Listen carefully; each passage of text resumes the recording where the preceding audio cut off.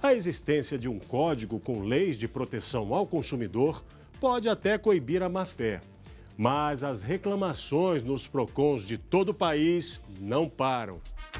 Nos PROCONs de todo o país é grande o número de reclamações de consumidores. E não podia ser diferente. Quando o consumidor tem uma dificuldade, geralmente corre para cá. O problema do João foi com um banco. Ele fez um empréstimo consignado, até trouxe os extratos para comprovar que os pagamentos estão em dia e reclama que, mesmo assim, teve o nome negativado no Serviço de Proteção ao Crédito, o SPC. Já dois meses atrás, eu recebi uma carta é, com meu nome no SPC, do Banco Itaú, me cobrando uma dívida de 4.430 sem eu ter dívida nenhuma com o banco. Tem um empréstimo com ele de 45 reais. E o banco, João, não resolve o problema? Já foi escaneado todos os contra-cheques da dívida que estão me cobrando, eles não resolvem nada. Fica só enrolando, falando que está em verificação o processo. Além do meu nome no SPC, está bloqueado todos os cartões meus, tanto do Banco do Brasil como do BRB. Estou pagando minhas dívidas sem poder, porque dependo demais desses cartões. E devido ao banco ter me protestado, estou nessa situação. Fomos conversar com um advogado que atua na área do direito do consumidor para entender o que o João pode fazer. Mas uma vez que você prova que aquela inscrição ela é indevida, o dano moral é o que a gente chama de rem ipsa pelo simples fato de você ter o nome inscrito no Serviço de Proteção ao Consumidor de forma indevida, isso já gera o dano moral. E como não para de chegar gente ao PROCON, conversamos também com a dona Denise. A reclamação dela é contra a empresa que não entregou a reforma da piscina no prazo contratado. Ele disse que em um mês, um mês e pouco, já ficava tudo pronto. Até nós falamos, nossa, tão rápido assim? Ele falou, é, não é muito demorado mas até agora não terminou. E agora a dona Denise está com medo da piscina estragar. No final da semana, agora completa três semanas que ela está exposta no sol. Tem um lado dela em cima que já até soltou.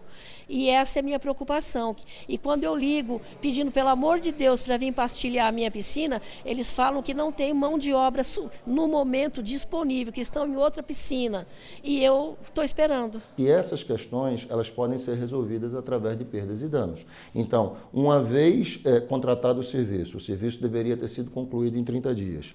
A conclusão não se deu nos 30 dias e se a partir disso aí, eh, se a partir disso aí é, houve um dano, seja um dano material, e esse dano material há de ser provado, seja um dano moral, esse dano moral também há de ser provado, ainda que a, a prova do dano moral seja, seja é, é, muito mais tênue, né? a partir disso aí sim é possível que essa consumidora venha a cobrar desse, desse, desse fornecedor tanto a conclusão do serviço quanto os eventuais danos que ela pode ter experimentado. E todas as reclamações que chegam aos PROCONs do país são contabilizadas pela Secretaria Nacional do Consumidor. No ano passado, foram feitos cerca de 2 milhões e meio de atendimentos. Os serviços de telecomunicações e bancários foram os setores que deixaram os brasileiros mais insatisfeitos. Na lista de assuntos mais demandados, a telefonia fixa ficou em primeiro lugar, a telefonia celular em segundo, seguida por bancos, cartões de crédito e TV por assinatura. Juntos, os segmentos somam nove das dez empresas mais acionadas pelos consumidores. No ranking das mais reclamadas estão a Oi Fixo Celular, Vivo Telefônica, Claro Embratel, Itaú, Bradesco, Sky, Tintelig, Casas Bahia, Ponto Frio, Nova.com, Caixa Econômica e NET. Vamos voltar a conversar com o João e Dona Denise para saber como o consumidor se sente numa situação dessas. Desrespeito, falta de atenção, falta de cuidado com o cliente. Se eu não conseguir nada com o Procon, eu estou pretendendo entrar na justiça. Eu não vou ficar quieta. Eu estou realmente constrangido, estou decepcionado com o banco e quero ressarcimento, de qualquer forma. Além do PROCON, você pretende tomar outras medidas também? Com certeza, eu pretendo entrar na justiça e reparar esses danos que causou a mim esse problema dessas contas aqui que não está em atraso, tudo em dias. E foi na justiça que o Túlio conseguiu resolver um problema com uma companhia aérea. Tudo começou porque ele não conseguiu o ressarcimento de uma passagem. Como ele é advogado, lutou logo para garantir o direito de receber o dinheiro de volta. Logo que eu, que eu vi que não precisava usar a passagem, né, que foi comprada para minha assistente, eu entrei em contato através do, do, do call center e pedi que fosse me dado o, re, o reembolso da, da, da, da, passagem. Foi negado, porque apesar de eu ter comprado com cartão da minha titularidade, é, eu coloquei o nome do assistente. Então, assistente que deveria fazer o pedido de reembolso, não eu.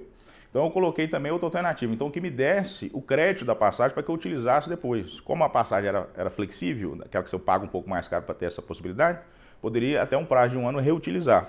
Também não me foi dada essa possibilidade. Né? Pedi é, que então que fosse colocado em meu nome a passagem para que eu pudesse usar então depois. E também não foi, não foi possível. Então, diante disso, eu expliquei que era advogado, inclusive especializado em direito do consumidor, presidia uma instituição que defende o direito do consumidor. A, atendente não deu é, atenção. E eu falei, então, desculpe, né, gravei toda a conversa e disse para ela, deixei bem claro, eu vou buscar o meu direito na justiça e vai ser mais uma demanda da, da, da empresa, né, sem ter necessidade, porque eu estou buscando para resolver. Na audiência, a companhia não quis fazer acordo. Na audiência compareceu o procurador, o advogado da empresa e o representante, o preposto. É, o juiz perguntou se haveria alguma proposta, eles não tinham nenhuma proposta de acordo. É, o juiz perguntou se eu abriria mão dos danos morais, eu disse que abriria, eles também não concordaram. Eu falei que, inclusive, é, é poderia ser o valor só atualizado, eles também não concordaram. E o juiz, diante disso, né, eu ainda expliquei, excelência, por falta de alternativas, né, não está sendo por minha causa que não está sendo resolvido o problema. Ele disse, não, realmente. Foi para ele, ele deu sentença me dando atualização dos valores que foi pago da passagem e uma vez e meio o valor da passagem em, em de dano moral.